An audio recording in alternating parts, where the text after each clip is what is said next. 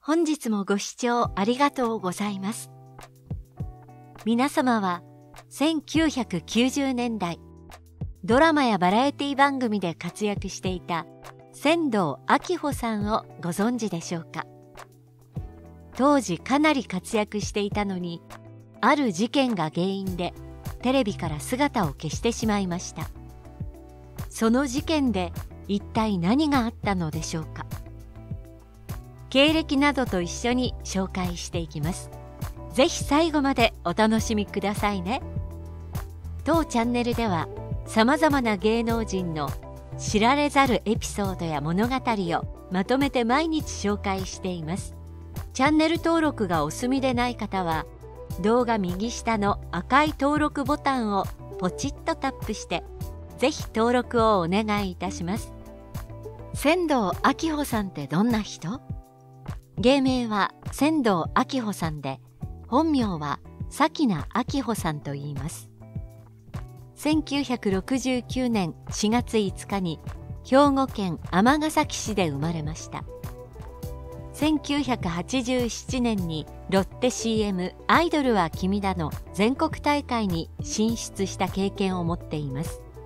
ちなみにその時準グランプリ賞を受賞したのは現在もタレントで活躍している島崎和歌子さんです。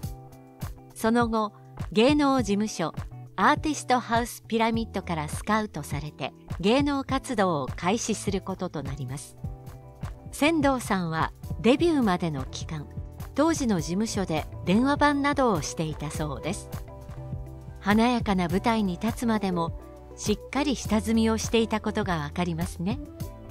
仙道さんは女優として活躍する前に歌手としての活動を行っていたようで当時のバンドブームの波に乗り本格化女性ボーカリストとしてライブ活動をスタート。ワーナーパイオニアから歌手としてデビューし日本有数のレコード会社ワーナーミュージックジャパンより数々の曲をリリースしました。当時の人気バラエティ番組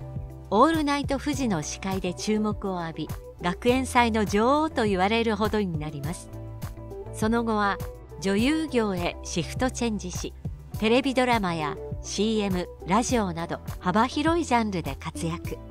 2000年の大晦日にはスキューバーダイビング指導者の男性と結婚しました。そして2008年には長女を。2011年には次女を出産し子宝にも恵まれたといいます。テレビから姿を消すこととなったある事件とは女優やバラエティなどで活躍していた仙道明穂さんですが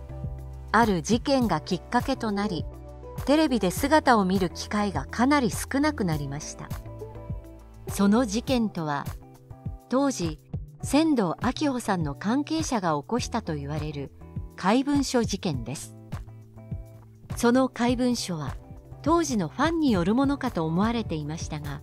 内容が詳細でプライベートのことまで記述されていることから自宅での盗聴被害を疑いました。そして捜査を進めたところ自宅の天井裏から盗聴器が2つ出てきたといいます。さらに防犯カメラを設置し捜査を進めると驚愕の事実が判明。なんと実行者は彼女のマネージャーだったのです。仙道さんが結婚し仕事を休業することや芸能界を引退することを不安に思ったマネージャーが当時の恋人と別れさせるために事件を起こしたという身勝手なものでした。この事件によって仙道さんの精神状態はズタズタになったといいます。身近な人にこんなにもひどいことをされると誰でも人間不信になることでしょう。しかし、その後様々な困難があったものの、事件後は当時恋人であり、現在の夫である男性と順調に結婚までたどり着きました。結果幸せになったようでよかったですね。テレビ出演を控えていた理由。仙道さんは結婚後もしばらくはテレビ出演を控えていました。それはなかなか子宝に恵まれず37歳まで長期にわたる不妊治療を行っていたからだそうです。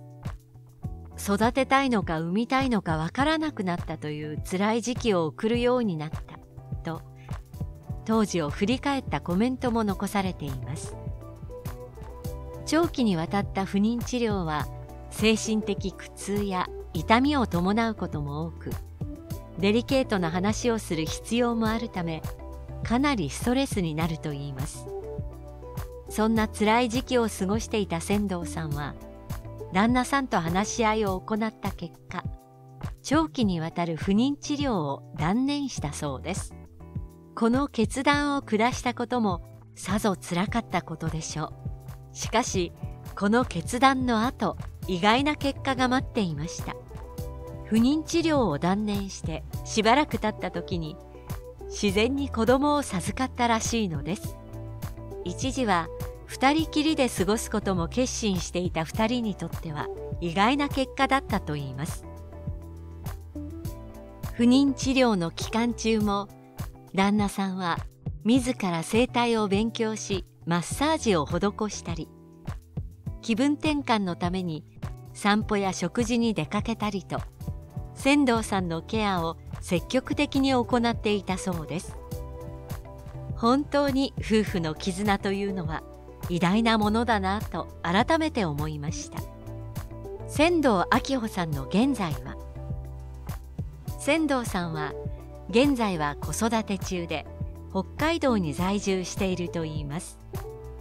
旦那さんのサポートもあり2014年バラエティ番組「マネースクープ」にて関東でのメディア復帰を果たしました。ローカル番組での活動はかつての人気からは予想できない出来事ですよね。しかし関東でのメディア復帰はファンの方からすれば待望の瞬間だったことでしょう。また2017年に放送されたクイズスター名鑑では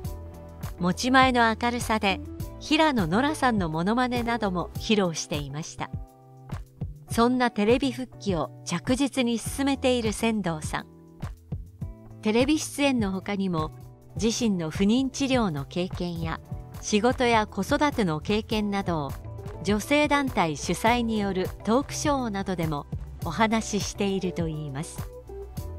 仙道明穂さんについての世間の意見は？今回仙道明穂さんについて調べてみたらたくさんの世間の声が出てきましたので一部を紹介していきます。大ファンでした。またテレビで見たいですね。困難を乗り越えた仙道さんには幸せになってもらいたいな。芸能人の人は苦労が多いと思うので仙道さんを応援したいです。仙道明穂さん大好きだったなこんなお姉さんと付き合ってみたかった。仙道さんを見るとバブル時代を思い出します。とってもバブリー。このように世間からは仙道さんへの応援の声がたくさん上がっていることが分かりました。いかがでしたでしょうか？1990年代ドラマやバラエティ番組で活躍していた仙道明穂さんのことが気になって調べてみると世界的なスターになっていたことが分かりましたね。今後も活躍し続けてほしいと思います。あなたはどう思いましたか？感想などコメントいただけたら嬉しいです。今後も世間であまり知られていない芸能人のエピソードなどお伝えしていきますのでぜひチャンネル登録をお願いします。最後までご視聴いただきありがとうございました。